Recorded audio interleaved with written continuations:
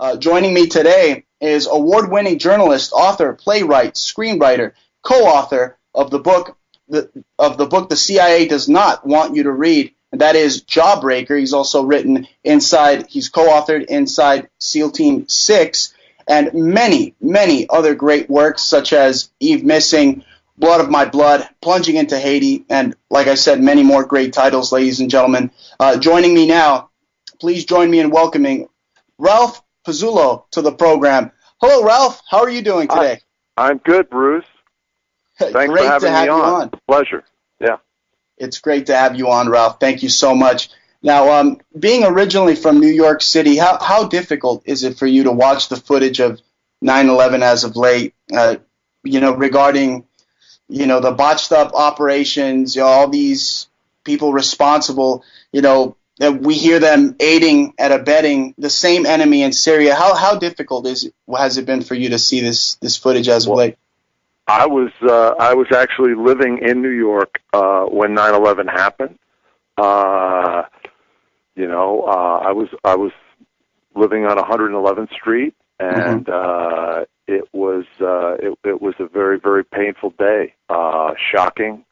Uh, you know, I knew people who died in, in the tragedy, and you know, many many more people that were affected by it, and. Uh, I can tell you that uh, you know, being a resident of Manhattan at that time, uh, all of us were in shock for about three months. Uh, it took it was it wasn't until sort of January, you know, 2002 that things started to anything started to happen. Uh, That's right.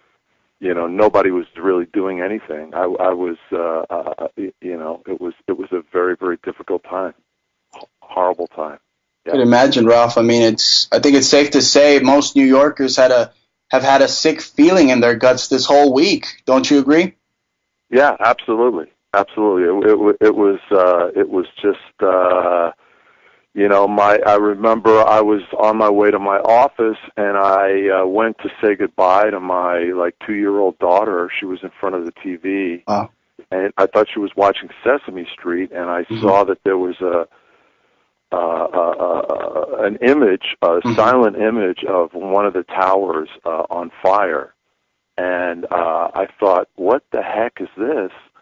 Is Right. is this the anniversary of the first attack on the World Trade Center? Right. And there was no there was no uh, there was no sound, there was no commentary. And so I was looking at it, wondering like, wh- why, you know, what's going on? Why isn't she watching Sesame Street? And suddenly I heard a voice say, "Oh my God, here comes another plane!" And I saw, uh, I saw the the second plane, you know, strike. And uh, that that minute, you know, that moment, I, I knew that, uh, you know, our history had changed, was changing, and this was going to have like a, an enormous impact on all of our lives, which is, you know, which is what has happened. Certainly. Absolutely.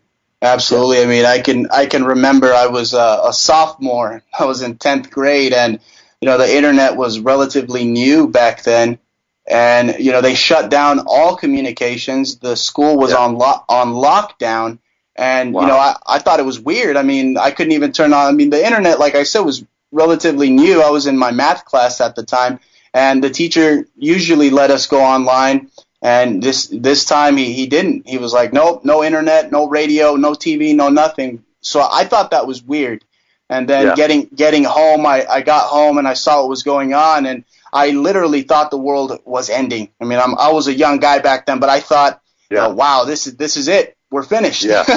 Yeah, yeah, yeah. I mean, it was just, uh, you know, I had, fr- you know, friends in this, you know, sort of security uh, uh, section of the of the government or working Right. for the Rand Corporation and so on. Mhm. You know, who had been talking about for years how you know the security of the borders was not, was, you know, we we were pretty lax about security, and Right. we didn't realize that, uh, you know, that that the th- that, that there was a threat that could that could reach American soil, and uh, you know nobody paid much attention to them, and then you know 9/11 happened, and you know, wow, it was profound, profound, Absolutely. and and we're still, I think, kind of. Uh, you know, still trying to come to terms with that in in many ways. We are. We are. Well, Ralph, um, moving on. Uh, you moved to LA in, in 2004, I believe, after Yeah. writing almost about about almost everything, as you put it. In particular, your your mystery novel, Eve Missing. Uh, tell Yeah. us about that novel and what it's been like to work with Hollywood icons like Oliver Stone, one of my personal favorite. I mean, he's one of the absolute best directors ever, and Antoine Yeah. Fuqua, among others. Yeah. Tell us about that. Yeah. Well, it's been, uh, you know, uh, I, I started really as a journalist, and then uh, I became interested in theater. And while I was in New York, I wrote, you know, plays. I wrote about, you know, 12 to 14 plays that were produced in New York and other cities around the country, and a few of them were pers- uh, performed overseas. And then in, uh, and I had done some work uh, for movies, and I decided in two, you know, late 2003 to move my family to Los Angeles, and uh, you know, we fell in love with Southern California right away. It's you know so Right. beautiful and so on, and, and you know, around that time I wrote, uh, as you mentioned, Eve Missing, which was a mystery novel. Uh, it's it's it's a story of uh, of a New York City policeman who is uh, sort of wrongfully accused of. Uh, uh, a violent incident that, that takes place while he and his partner are breaking up a domestic dispute, and he's sort of railroad out of the the LA, uh, the the New York Police Department, and he becomes a he. And the thing he liked about being a policeman the most was was helping other people. So he decides he's going to become a, a private investigator, and the first case that he takes on is of a of a girl who has gone missing. Uh, she's a young fashion model, and he he he sort of delves into this world of high fashion, which you know he is is completely foreign to him, and uh, fall ends up falling in love with a woman he he meets, uh, who was kind of Eve's mentor, and then sort of halfway through he realizes that this woman had something to do with Eve's disappearance. Wow. and uh yeah it's it's it's uh it's a pretty intense uh steamy uh you know uh mystery novel. And uh and it, it was great for me because uh you know the mystery writing community is kind of a a a, a, a small fraternity a small group and and I got to meet a lot of uh you know fellow authors and uh Awesome. and you know and make a lot of friends and then you know coming to coming to Hollywood I found it to be uh you know quite receptive to uh you know to new talent arriving in in California and I and I got a chance to work as you mentioned with uh you know some really talented people including Oliver Stone who uh wanted to make Jawbreaker uh which is a book I wrote with uh CIA operative Gary Berntsen That's into right. a movie. And w- we came very close. Uh it was you know great working with him. I i you know i Mhm. was a i'm a huge fan of his uh of his movies especially his earlier movies and uh you know it didn't work out uh hollywood is a crazy place uh lots Oh, of you know uh, it. yeah lots of uh you know twists and turns but A lot of you know, red tape, right? A lot yeah, of red huge tape. red tape. Yeah, you're dealing with a lot of people who are, uh, y- y- you know, making decisions. Who, you know, I'm I'm somebody who is as a writer, I, I am uh, just interested in the material and how to tell the story and tell the story the best way. And a lot of people out here, you know, they could, you know, the material to them is not important. They're not even, you know, they don't even particularly read it uh, you know, they're just interested in other things, which are, you know, how they're going to market it and how it's going to fit into their slate of movies and so on and so forth. You know, things that are, uh, you know, important, but I, you know, were not important to me. And, you know, anyway, it, Right. it didn't work out. Yeah. Well, that's unfortunate, Ralph. I mean, I could imagine though. I mean, Jawbreaker is definitely not their cup of tea. you know, it wouldn't. No, no. I mean, I remember turning in a draft to Paramount, and going there to get you know notes. And uh, some people said, "Well, gee, you know, uh, they don't kill bin, Osama bin Laden at the end." Mm-hmm. And I'm like, "Yeah, he got away. That's the whole point." And they're like, "Well, that, you know, you, they, you know, we're going to have to change that because, uh, you know, that's too much of a downer, you know, for, right. for the end of a movie." I was like, "What? what are you talking about?" You know, uh, this is history. This is what happened. And I, I, I, you know, it's a shame it wasn't made into a movie because, you know, I think it's a very important story. And had, uh, and you know, I tried to explain this to them at the time. And had we killed bin, Osama bin Laden in Tora Bora, which is what the CIA and Gary, what they were trying to do, uh, it would have been very difficult for the United States to justify going into Iraq and continuing the war in Afghanistan, you know, the way we have. So right. I think it would have made like a big, big uh, difference. And, uh, you know, it was an impo- important historical moment, you know, that was an opportunity that was missed. And, and had it, you know, had they been successful, it would have, it would have changed, uh, you know, changed history but uh, you know, it is what it is.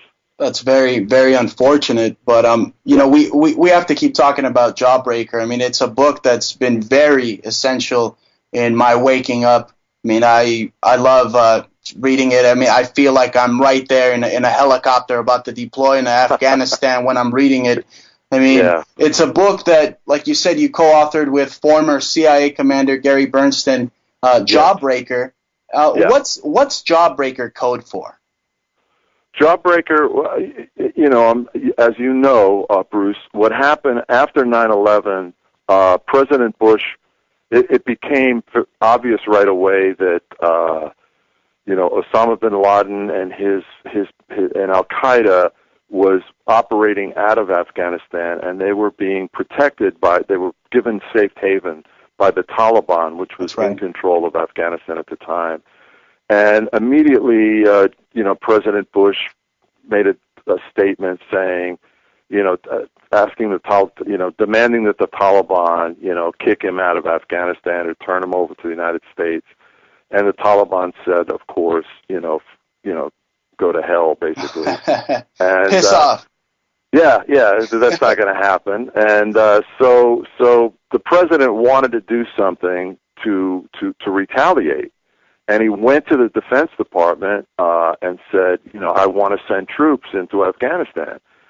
And the answer he got from the Defense Department was, well, we need six months to plan something because, you know, Afghanistan is a land, landlocked country. It's very difficult geographically you know, the Soviet Union's got their butts kicked there. Uh, you know, we have to do a lot of, you know, planning, logistical planning before we can do anything. And the president was very frustrated, and uh, everybody in the government knew that. And a, a group of CIA officers came up with this idea that they went that they that they took to the president, and it was basically that, you know, they had been they had had operatives in Afghanistan working with the with the opposition to the Taliban, which was called the Northern Alliance. There were a group of tribes uh, organized under uh, Commander Massoud uh, in in the north, um, and the CIA, some CIA officers, including Gary Berntsen, had been working with these guys before.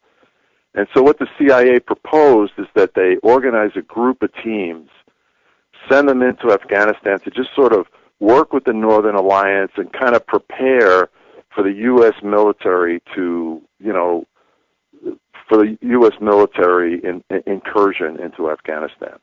Right.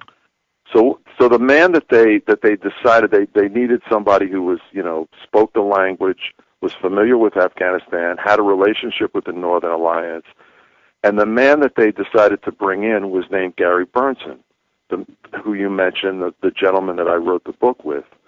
And Gary at the time was the CIA station chief in Montevideo, Uruguay. Uh, they called him up to. He also happened to be a New Yorker. He had he had been born in born in and raised in in Long Island. So they called Gary up to CIA headquarters in Langley, and said, uh, hey, "This is what we want you to do. We want you to organize a group of teams that we're going to send into Afghanistan with a small group of special forces people, and you're going to just kind of start to prepare for the U.S. Uh, military incursion that's going to come later." And so Gary goes to work, and Gary is like a very, very aggressive type of guy. Right. Uh, a guy who, you know, you ask him to do something, and he does it, no matter what it is, and no matter, you know, how many heads he has to crack, you know, to get it done. And so he immediately starts, you know, scouring the government for people who were uh, native speakers, who had some experience in Afghanistan, uh, and uh, interestingly, he, he, he got a lot of resistance, even though this is like weeks after 9 11. There was a lot of resistance from people in the bureaucracy, even in the CIA. Guys saying, hey, I, we don't want you to take our officer because he's probably going to get killed anyway. And, uh, wow. you know, who are you and what is. Anyway, he puts these teams together. And uh, the, the main team was called Jawbreaker and uh, that was the team that he was running. And they were in the Panjshir Valley, which was just north of Kabul. Uh, and and then there were uh, about seven other teams that were scattered across the around the country, working with different pockets of of of of, of tribes who were, you know, uh, uh, fighting the Taliban. Mm-hmm. And uh, Gary goes in. Uh, he's got a Rubbermaid trunk. I mean, we uh, one thing we should explain is that Jawbreaker was pretty heavily redacted by the U.S. government. That's right. So uh, there were a lot of things I had to take. We had to take out of the book. One of the things we had to take out was the fact that Gary went into Afghanistan with eleven million dollars in cash in a Rubbermaid trunk. So he goes in, he's helicoptered in with a small group of guys. His team was about uh, 20 people uh, about 10 CIA officers and 10 Special Forces guys. They go in and they start working with the Northern Alliance. And immediately Gary starts getting like very aggressive. So what he does is he he starts getting satellite phone numbers of the Taliban commanders because you know Afghanistan to understand Afghanistan Afghanistan is a tribal country and it, it, it's a country that's ruled by warlords, and so alliances are shifting all the time. That's right. And Gary, being a student of Afghanistan and having been there before, he understood that. And what he did is he just started he started getting like the the phone numbers of of guys who were fighting for the Taliban, and he'd call them up, and he'd say, "Hey, uh, you know, Shah Muhammad or whatever your name is, I'm Gary Berntsen. I'm going to come here and I'm coming to kick your ass. And if you don't, I'm going to give you I'm going to give you an option. I'll give you a hundred thousand dollars right now to come over to my side and fight for me, or I'm going to call. I know your position. I'm going to call in airstrikes, and you're going to wow. get wiped out tomorrow.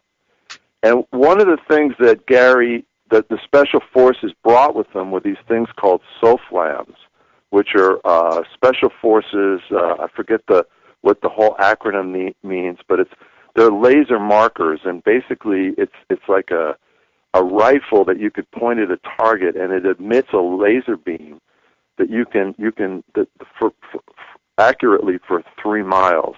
Mm-hmm. And that once that beam hits it fits, fix, fixes on a target, an aircraft or you know like a B-52 flying over it uh, 30,000 feet can drop a bomb that will lock immediate that lock right onto that laser designator and hit that spot, you know, directly.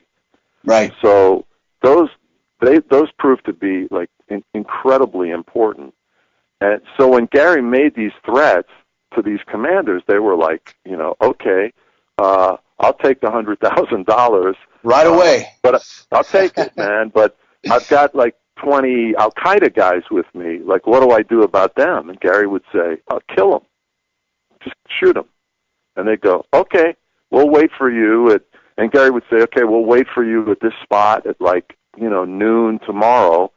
and they'd go to a certain spot in the Panjshir Valley, and they'd hear, you know, they'd hear machine gun fire, which was, you know, these guys shooting the Al Qaeda people, and Right. then they'd they'd walk over the the line to the other side, and they'd fight for Gary in the Northern Alliance.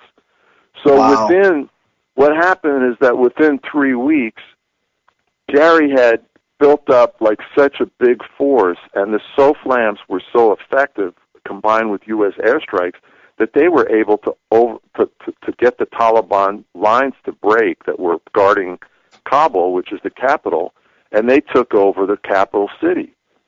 And I think you know Vice President Cheney was having a news conference at the time, and some reporter from CNN said, uh, "Hey, did you know that Kabul has fallen and, and there are Americans there?"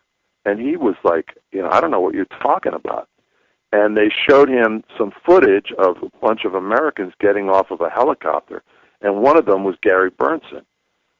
So, uh, so nobody thought that these guys, Gary's teams, were gonna were gonna, uh, uh, you know, have any success. In fact, they Uh-huh. were telling the president that they figured, you know, they had a 50-50, there was a 50-50 chance that they'd all get killed.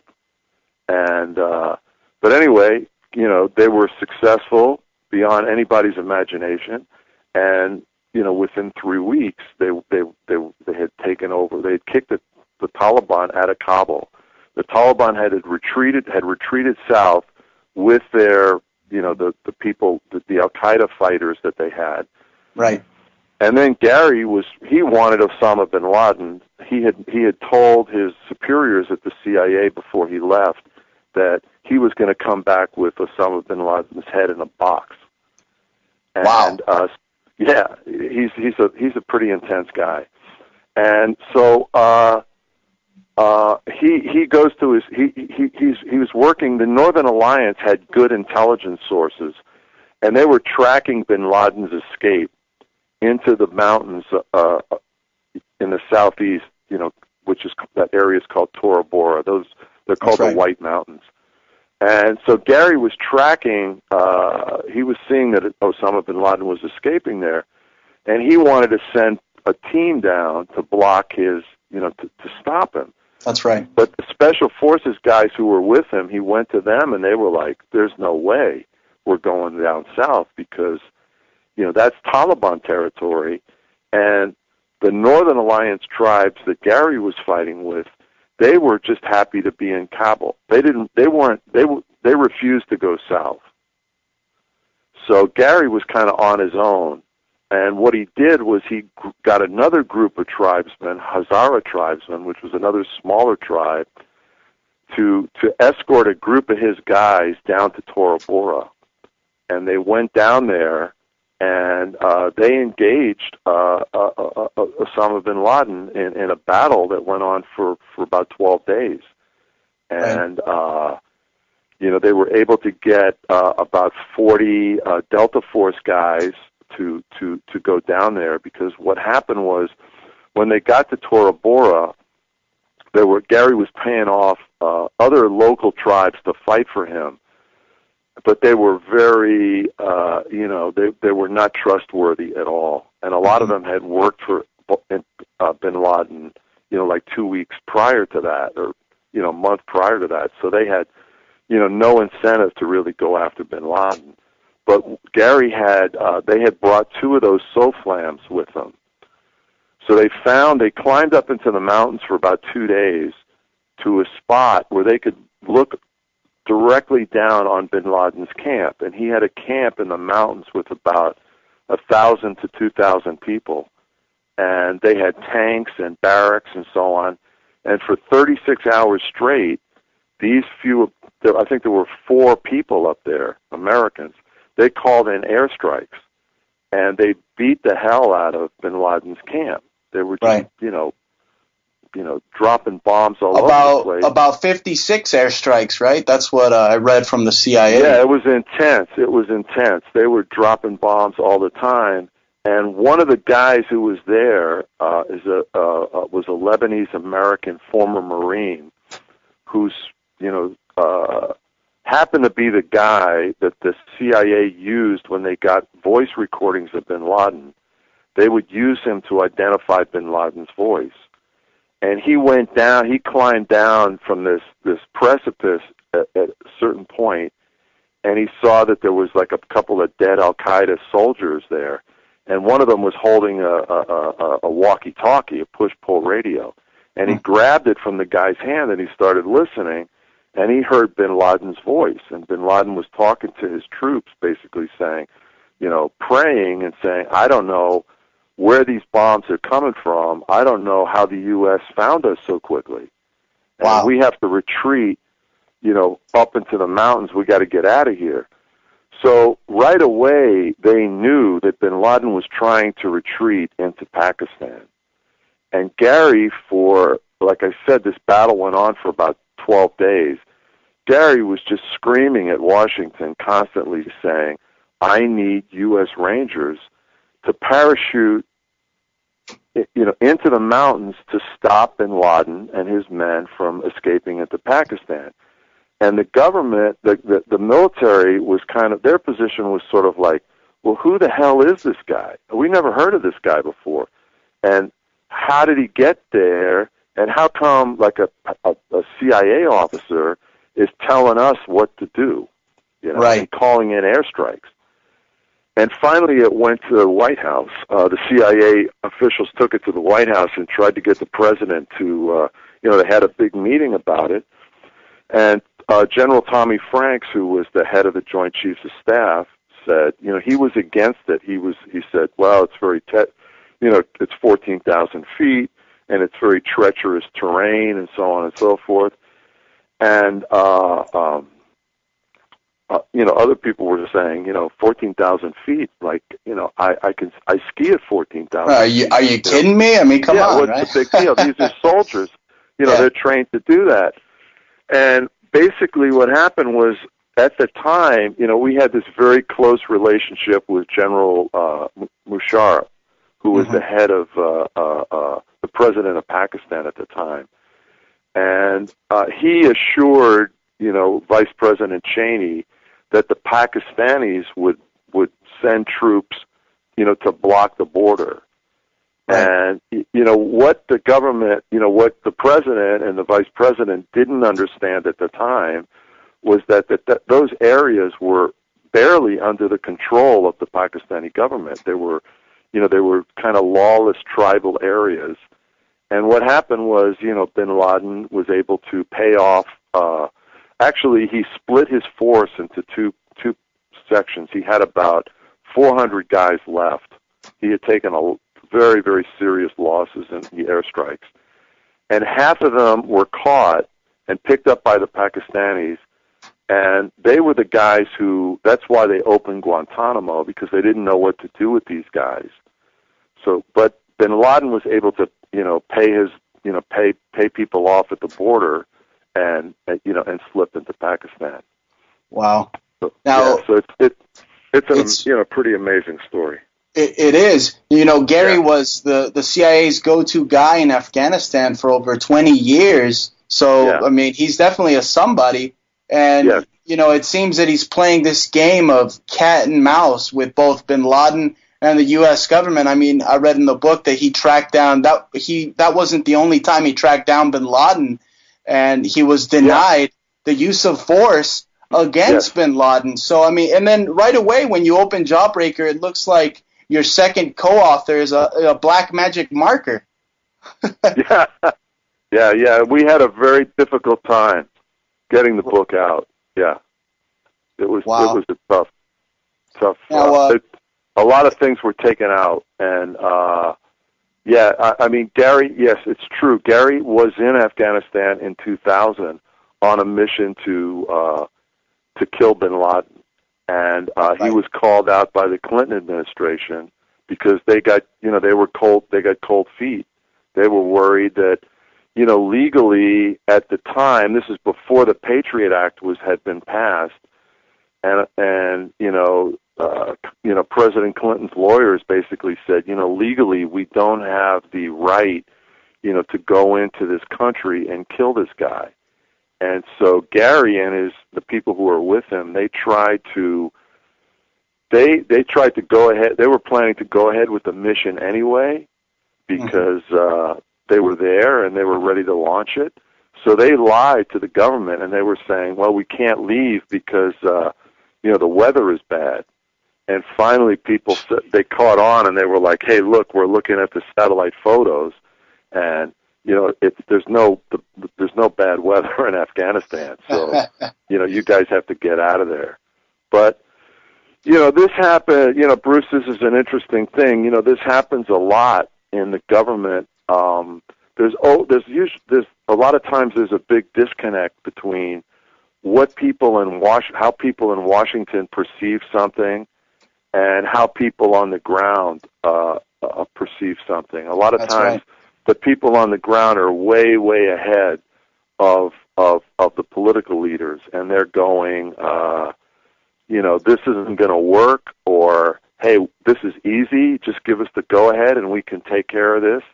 And people in Washington are sitting around, you know, debating like what the consequences are going to be or if the time is right and all that. And so a lot of times it's very frustrating for, you know, for people on the ground. I mean, I, I know a lot of, uh, you know, CIA and military people who have been serving in Afghanistan for the last, you know, three or four years, and many of them have described, you know, a situation there that is, you know, really bad. And yet, you know, if you listen to the president or the secretary of state or other government officials, it makes it sound as though, you know, we're we're succeeding in Afghanistan, and that is absolutely the opposite. It's it's not it's not going well at all. Absolutely. I mean, we Yeah. we should have learned from the Soviets how that is an impossible battle to win in that terrain. Absolutely. That's that's their Absolutely. home. That's their home court. And you know, going It's back, their home court, yeah, yeah. And also, it's it's uh, as I mentioned before, you know, Afghanistan is a tribal country. All the all the alliances are tribal. It's not about politics. So basically, the government, the the Karzai government, even though Karzai is is the the big tribe in in Afghanistan are the Pashtuns. That's that's the majority tribe, and they control most of the south of the country. Uh, the nor- in the north, there are a bunch of other tribes, the Tajiks and the Uzbeks and the Hazaris, but they're much smaller. And the government that is in power now is really the government that you know the tribes that we helped install.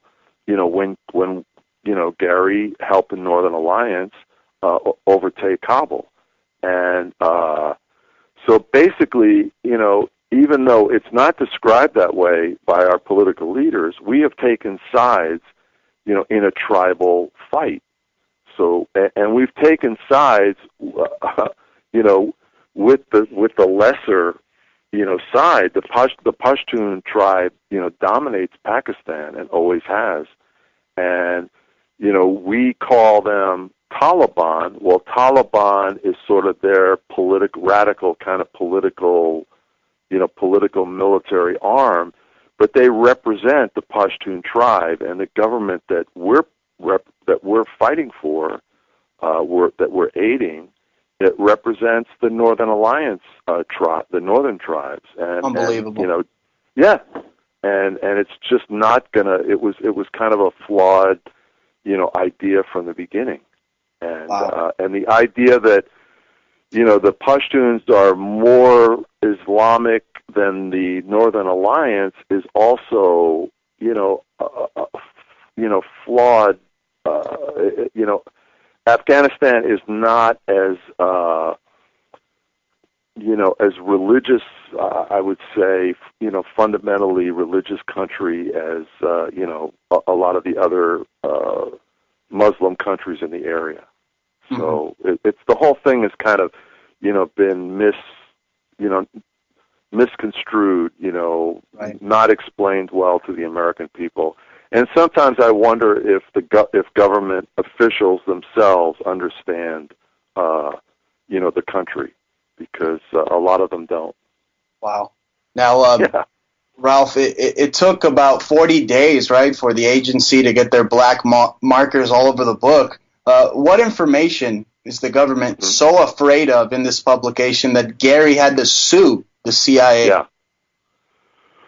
Well, you know, it, it's a it's a it's an interesting story because um, what happened was when Gary approached me about writing this book, which was in uh, oh, it was like uh, like about a year before the book came out. So the book came out in December of 2005, and he approached me in like maybe September of 2004, and he you know he told me this incredible you know that he would have been involved. Actually, when he when I met him, he had been involved in another uh, like really spectacular operation in Japan, and he wanted to write a book about that.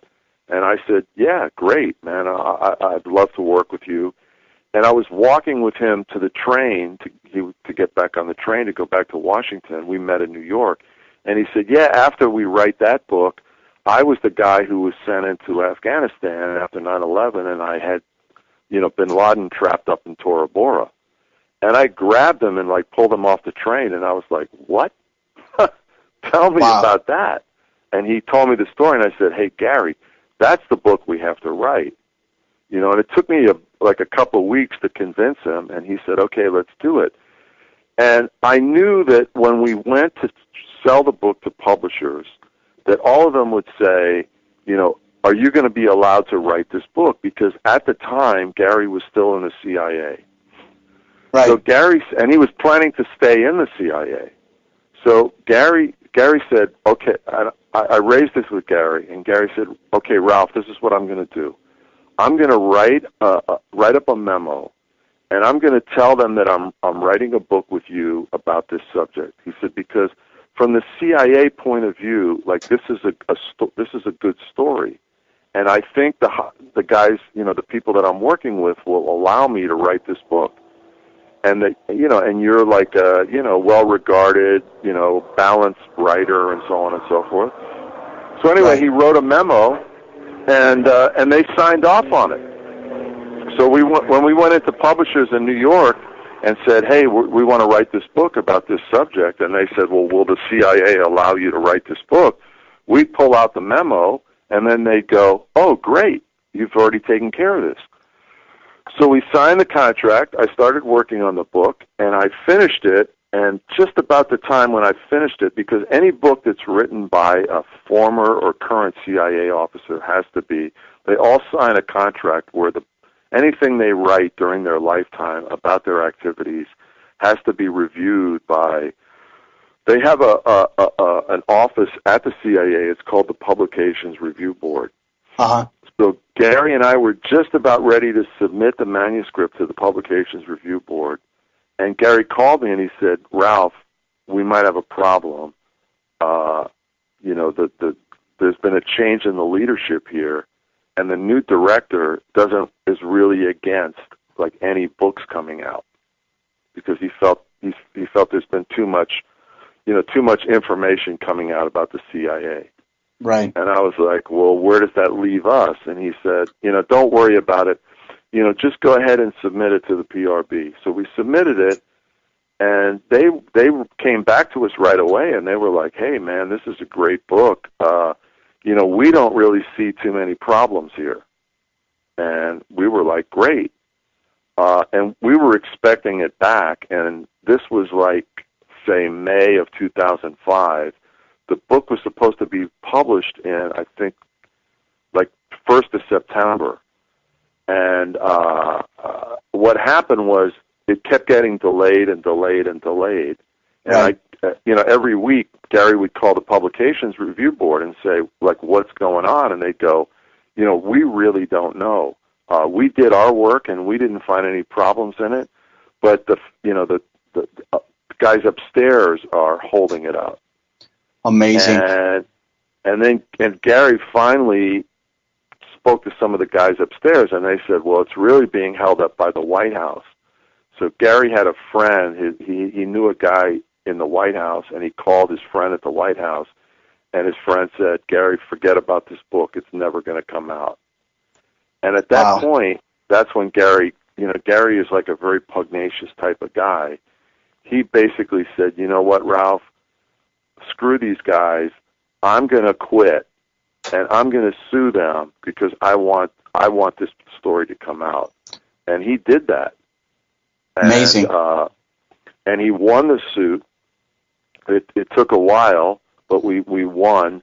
And, uh, and and and the woman who the judge was a Republican, so we were kind of nervous about that.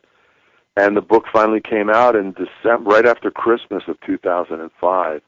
But they still you know, it was like a kind of a, a, a battle. Like every time, uh, you, you know, they would the first time they gave us the manuscript back, it was like Swiss cheese. I mean, there was no Right. book left. Took out so much information.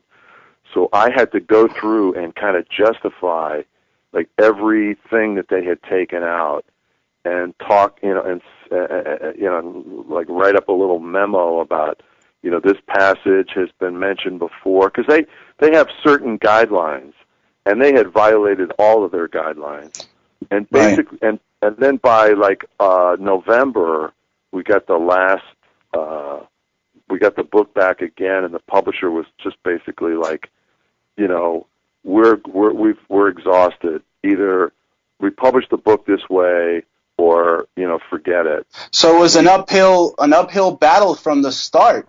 You know, It was an uphill battle. That's right, Bruce. It and you know, a- I'm sorry, but you know what I Yeah. take away from this, Ralph, is that the CIA, you know, the president, uh, actually the White House, like you mentioned, it, it definitely seems like they were protecting the Bin Laden family. I mean, after bombing the American embassies that Bin Laden was a part of, I mean, the attack on the USS Cole, I mean, hell, Bin Yeah. Laden even received dialysis treatment at a U.S. embassy in Dubai two months before 9/11. So, I mean, all these chances that Gary had to to kill Bin Laden, and he was denied. Okay, in the Yeah. in, he was denied the Yeah. the ability to bag Bin Laden. It's just incredible how instead of sending a death blow to our enemies, we are still to this day we see it happening in Syria. We continue to aid and abet them.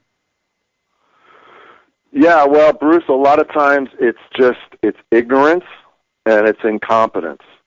Um, Amazing. There's a lot. There's there's a lot of uh, you know. There's uh, you know Syria is another example. Um, you know, uh, uh, you know, there's just a lot of. It's a very difficult situation. It's Slippery just, you know, slope. yeah, it's a slippery slope. And the president, you know, there was never a strategy. I mean, this war has been going on for two years. Uh, I mean, you know, you can go back to the to the Arab Spring. Here were all of these countries that were that were that were you know fighting. You know, the the populace was rising up against sort of the political repression in their countries, and we were encour- we were we were encouraging it. Uh, uh, the president made you know statements about you know this is a great thing and this is a and a, a democratic movement and an expression of of of uh, you know people you know seizing you know wanting power back and Right. you know overthrowing repressive regimes and you know they overthrew Mubarak in Egypt who had been you know the military dictator for like 40 years and they elected a president right? They had democratic elections, and they elected a president, Morsi, who was from the Muslim Brotherhood. He wasn't our, cho- you know, he wasn't somebody that we particularly liked, but the Egyptian people elected this guy, right? Right. And then he was he was overthrown by the Egyptian military a couple months ago, and the government's our government still refuses to call it a coup d'état, you know, which is what it was. And Absolutely. even though we didn't like Morsi, democracy is like a messy thing. We elect all kinds of crazy presidents. right. You know, Now- you don't always elect the, the best the best person or the person somebody else likes, but you know that's the way it works. And Ralph, so, uh, uh, we're we're running short on time. We got about two minutes left. I mean, literally, I got. I want to talk to you about so much. You got so many great books. Plunging into Haiti. Yeah, I mean, Eve Missing, Most Evil, the U.S. Navy SEAL Survival Handbook. One of the. I mean, you wrote another book with Gary. I mean, The Walk-In. I mean, I can Yeah. I can talk to you for hours, but I I don't have the time, unfortunately. But um, real quick, I mean, you were Yeah. in you were in Saigon during the Gulf of Tonkin, or better said, the lack thereof Gulf of Tonkin incident. Tell us what are I some was of the kid. Yeah. right? Yeah. What are what are some of the most interesting places that you've traveled? And tell us about your book at the Fall of Somoza. Well, my father was uh, my father was a, a, a, a U.S. diplomat. When he grew up in the Bronx, he was a high school teacher, and then he joined the Foreign Service. And uh, you know, he was a he was a career diplomat, and at the towards the end of his career, he was named ambassador to to uh, he was named ambassador to Uruguay in the 70s. And then when the uh, the Nicaraguan revolution started in Nicaragua, which was the summer of 1979, he was the the Carter administration asked him to go to Nicaragua and talk to the president there, who was uh, Anastasio Somoza. His Right. family had been in power for 40 years, and try to convince him to negotiate with him to leave Nicaragua.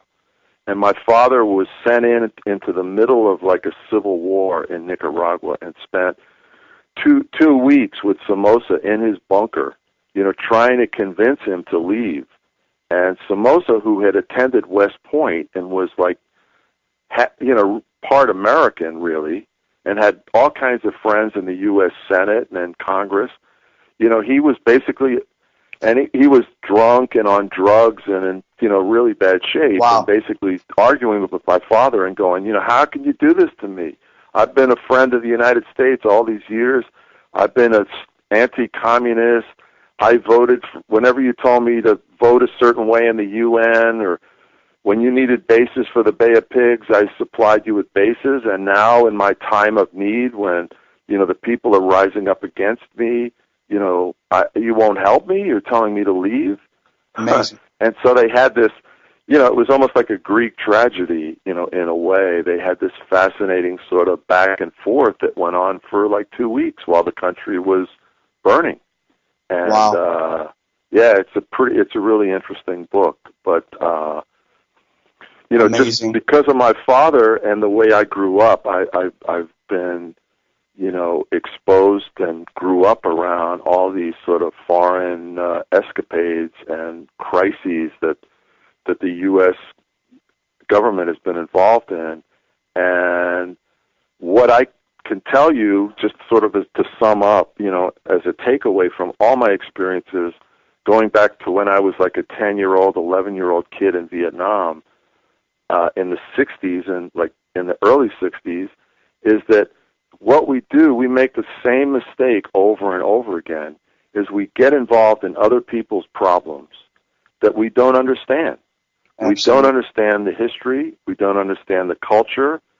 It's like I tell people, it's like if you hear your neighbors fighting next door, and you know they're fighting. You know, every night you hear them screaming at one another, and you're hearing, you know, things breaking and so on. And then one day you go, okay, that's enough, and you go over and you knock on their door, and basically think that you're gonna get in the middle of it and straighten it out. It's not Any not going to policeman work. will tell you that's the most dangerous situation to ever get yourself in. And we do that all the time. right. Every, Well- we we never learn. We Well, did Ralph, it in Iraq.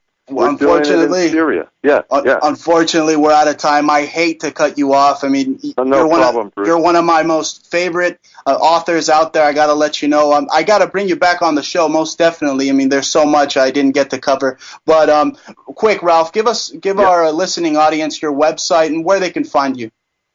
Uh, my website is it's ralphpezzullo.com. Uh, R A L P H P E Z Z U L L O.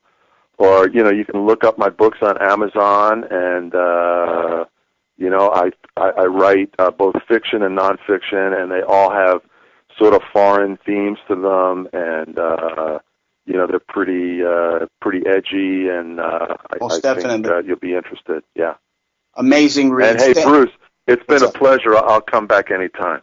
Thank you so much, Ralph. We look forward to many, many more great interviews. Thank you.